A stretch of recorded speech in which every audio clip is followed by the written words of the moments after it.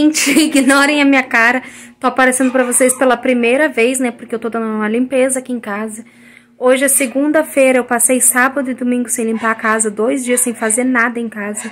Somente no sábado eu fiz janta, eu saí o sábado, é, almocei na casa da minha mãe e passei o dia lá. Aí cheguei em casa, só fiz a janta e deixei a louça, não fiz nada em casa.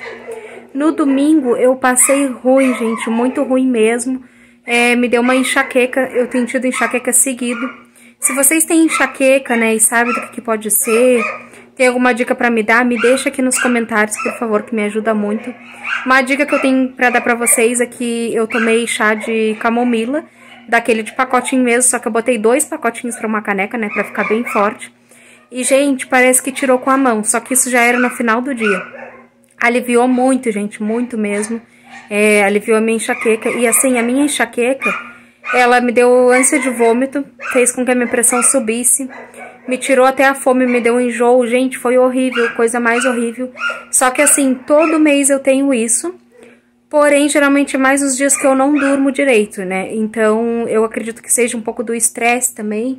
Pode ser por conta do anticoncepcional também, não sei, gente. Deixem nos comentários se vocês sabem, assim, se vocês têm alguma história parecida, né? Se alguma de vocês costuma ter enxaqueca, me dá alguma dica. Porque é horrível, gente. E aí hoje eu acordei bem melhor já, graças a Deus. E, gente, ó, eu tava dando uma limpada aqui, como vocês viram. Aí eu fui pra lá lavar o banheiro, nem mostrei pra vocês, vou estar tá mostrando pra vocês agora. Porque enquanto eu tava lavando o banheiro, eu tava conversando com a minha mãe no telefone, né, no Viva Voz. Então eu não gravei nada. Mas olha aqui, gente, aí quando eu terminei de lavar o banheiro, pra minha surpresa, olha isso aqui. O Manel dormindo, gente, ó. O Manel acordou mais cedo do que ele costuma acordar hoje, né? Manel acordou, não era 8 horas ainda da manhã, gente, então ele tá com bastante soninho, né? Ele costuma acordar lá pelas 10, 9 e meia, 10 horas, às vezes 11 horas. E ele acordou, não era nem 8 horas da manhã, então já vimos que a noite vai ser boa hoje, né? A noite vai ser longa. Virei a câmera para mostrar para vocês aqui a realidade de como tá a casa, né? Agora eu vou dar uma ajeitadinha ali no Emanuel. Apesar que eu não sei, gente, ele tá tão confortávelzinho assim, eu acho que eu nem vou mexer com ele. Só tapar a barriguinha dele aqui, que tá correndo um ventinho. Eu nem vou mexer com ele, gente. Talvez eu até jogue só uma cobertinha assim por cima dele. Porque, olha, não, deixa nos comentários. Ele tá tão confortável, gente. Tão confortável. Olha o jeito dele. Sabe quando a pessoa dorme assim, meio de qualquer jeito, atiradinho? Só arrumar a perninha dele aqui. Parece que ele tá tão confortável dormindo assim, gente. Meu bonecão. Olha que lindo, meu bonecão. Bom, gente, então deixa eu mostrar aqui pra vocês a realidade de como tá a cozinha. Acender aqui a luz. Já tá ficando a tardinha, fica mais escuro aqui. Tá cheio de louça, não limpei fogão, nem bancada, nada. Só tirei o lixo, lavei o chão, né, como vocês viram. Pra desacumular o que tava no meio do caminho, né, gente? Porque primeira coisa que eu preciso sempre dar uma arrumada é o chão por causa do Emanuel. Aí aqui também tá sujo, tem que dar uma passada aqui de pano na bancada. Tem roupa aqui também pra estender esse cesto. Aí aqui, gente, ó, tem roupa aqui atrás da porta pra lavar. Tem um monte de roupa, tem almofada da Manel. Tem a roupa que acabou de lavar aqui, ó. Que vai sair mais um cesto, no caso, né? Que eu vou tirar agora. E aqui a gente tá limpinho, ó. Limpei tudo, lavei tudo. Tem uns panos de prata ali pra lavar, umas coisas pra lavar. Aí aqui, gente... Vou mostrar aqui pra vocês. Ah, eu não sei se eu cheguei a mostrar, mas o Wagner colocou as plantas tudo pra cá. É ele que cuida das plantas, gente. Eu não tenho tido tempo pra isso. Aí aqui eu enchi de calçado, ó. Tá tudo cheio de calçado. Tem mais uns calçados ali em cima daqueles cascotes pra secar. Que hoje o dia tá bom pra secar roupa, nessas coisas. Então botei os calçados, aproveitei. Aí aqui, gente, temos um corredor todo molhado. Olha o que aconteceu. Aqui tá molhado do balde, né? Porque eu tava lavando o banheiro. Mas aqui, gente, só que tudo é por causa das telhas que tá vertendo água. Então, assim, Deus sabe o que faz, né? Ainda bem que a gente não chegou a mudar quarto, coisa pra cá. Nada, porque, gente, ia molhar toda a cama, ia molhar tudo. Então, Deus sabe o que faz. Agora meu esposo vai ter que resolver isso aí, né? Antes da gente mudar. O que importa é que aqui, ó, gente, ó, tudo sequinho, graças a Deus. Glória a Deus. Então, vocês entendem por que, que eu mudei pra cá? Olha o boneco da mulher lá embaixo. Eu pensei, ué, o que é aquilo ali? É, então, gente, vocês entendem por que, que eu mudei pra cá? Porque aqui a gente tá dormindo confortável, no sequinho. Pode dar o temporal que der, tudo sequinho é laje, gente. Aqui, ó, laje com forro. Então não tá, não tem como molhar, né? Graças a Deus. Agora aqui, gente, ó, o estado que tá, que meu esposo fez essa parte nova, né? Não terminou, mas vai ter que arrumar isso aí, ver que, por que, que o telhado tá suando. Na verdade, gente, isso aqui não é chuva, tá? Isso aqui, o tempo hoje tá bom. Só que o tempo hoje tá úmido, então tá suando, gente. Passou a noite toda pingando aqui, tá suando as telhas. Aí lá, né, como eu falei pra vocês, tá caindo, gente, a casa. Caindo, que eu falo, é porque assim, ó. Deixa eu ligar o flash aqui pra ver se dá pra vocês ver. Não dá, gente, é porque tá bem escuro. Mas olha pra vocês ver. Isso aqui tá torto, ó, da porta, ó. Olha, a porta dá a impressão que tá assim, ó caindo pro lado. E toda a casa ela tá assim caindo pro lado. Então tá perigoso, gente, tá entrando água ali que não entrava, era bem sequinho quando meu esposo fez, era tudo acabado, tudo, né, uh, tudo bem acabado por dentro, né, tudo bem direitinho, foi duplado, tudo certinho pintado. Mas, gente, né, tudo uma hora é, acaba, ainda mais que foi feito com madeira baratinha, né, não lembro a madeira, gente, eu não sei se é pinos, o que que é, mas é, é que eu não entendo de madeira, mas foi feita a madeira mais barata de casa pré-fabricada que foi feita. Então, já tá bem ruim mesmo. Ah, deixa eu mostrar pra vocês, gente, ó, ignorem isso aqui, tá? Isso aqui não é sujeira, isso aqui é tudo mancha de produtos que foi colocado na laje, que eu falei pra vocês já que quando meu esposo colocou, eu não, eu não lembro o nome daquele produto preto que vai em cima da laje. E aí, no dia, meu esposo terminou de passar, choveu, escorreu tudo, gente, mas escorreu tudo aqui, Aqui, gente, ó, ficou tudo manchado. Escorreu por dentro do banheiro na época, porque eu não sei o que, que tinha nos cantinhos da laje, que tinha dado um vazamento. Ou ficava uma frestinha, uma coisa assim. Meu esposo ainda não tinha acabado bem. E escorreu por dentro do banheiro, gente. Então é por isso que meus rejuntos é tudo preto, assim, ó. Não é porque é sujeira, é por causa desse produto que manchou todos os rejuntos, né? Onde pegou, manchou. Lá no canto também. Então, às vezes a gente olha assim até no chão, gente. Tem umas manchas muito preta e parece que é, do, que é sujeira e não é. Bom, gente, então, ó, tá limpinho aqui, lavei tudo, gente, ó. Ai, tô lavando os tapetes aqui, meus tapetes da cozinha. Dei uma lavada por dentro da máquina também, que tava horrível antes de lavar o tapete. Aí aqui tá as montoeirinhas, né, que eu, eu... Gente, eu tirei isso aqui tudo do lugar, passei pano. Mas os produtos de limpeza não tem de colocar. E lá naquele saco papel higiênico, né, pra não molhar, porque o Wagner tirou. Gente, vocês acreditam que o Wagner tirou o papel higiênico do saco que ele vem e colocou todo aqui dentro desse armário, sabendo que o armário é úmido, gente? Eu não sei, acho que ele esqueceu.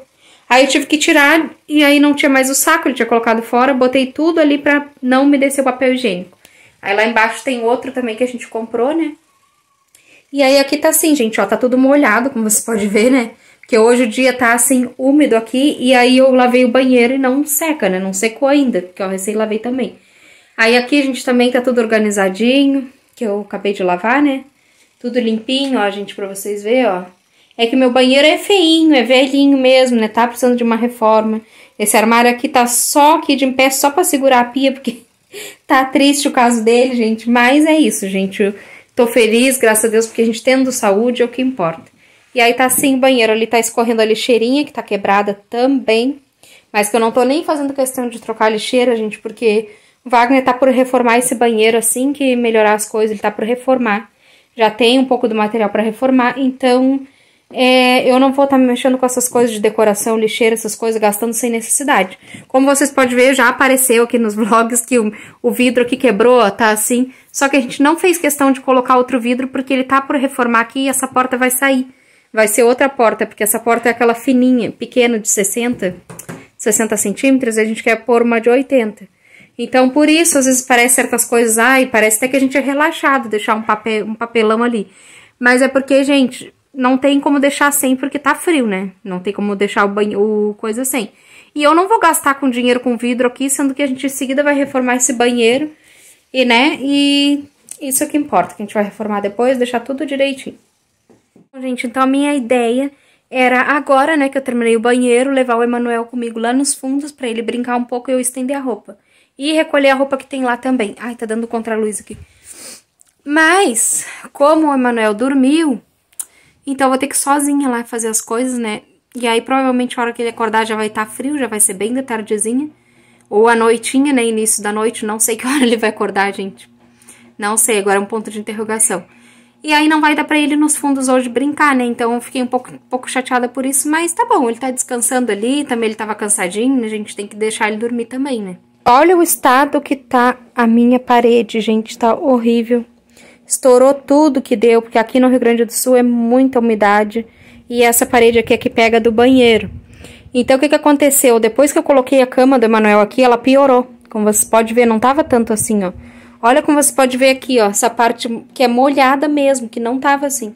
Então, piorou, gente. Eu não posso ter nada aqui nessa parede que tampe ela. Por exemplo, a mesa tampava, mas ficava aberta, né, arejada, então não tinha problema.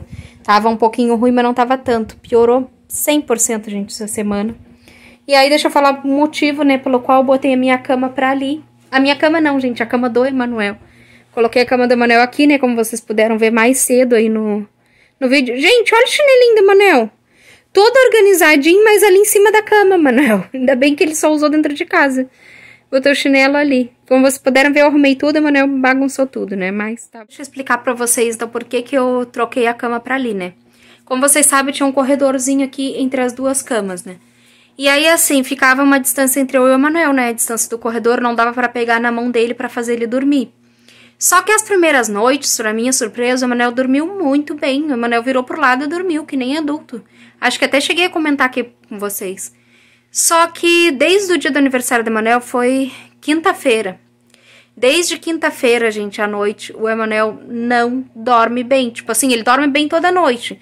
Só que para fazer ele dormir é uma luta, ele não quer dormir. Ele quer ficar pulando, quer subir em cima daquele negócio ali, ó, da bancada, que é perigoso. Aí ele fica passando de uma cama para outra. E quando a gente dormia lá no nosso quarto, que a cama dele era do lado da minha cama, não era assim. Ele pegava da minha mão e dormia.